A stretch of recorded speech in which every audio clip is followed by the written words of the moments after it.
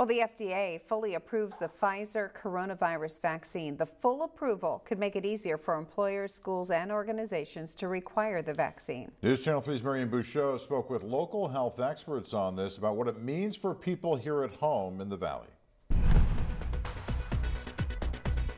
You could probably see some people more mandating it. That's Dr. Tim Perlick, the Director of Pharmacy Services at Desert Regional Medical Center. I think with this vote of confidence, you might see a little stronger hand in that vaccination part. Now, the Pfizer vaccine has full FDA approval for people 16 and older. Before, it was only given emergency use authorization to people 12 and older. As opposed to emergency use authorization, which means in a time of crisis, we're going to maybe not have as much data initially as we need. That's Dr. Youtham Contaxis, the medical director of Eisenhower Health's Tennessee Emergency Department. But now that we have the data, we're all comfortable that this is a, a, safe vaccine. I think you'll see some increase in mandates by schools, by by um, businesses. That ability to mandate that would come forward naturally once we've really had it through our traditional process of validating the drugs.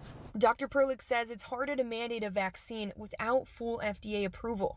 And so, for those people that were hesitant under this emergency use authorization to get it, hopefully that'll tip them over to going ahead and getting vaccinated.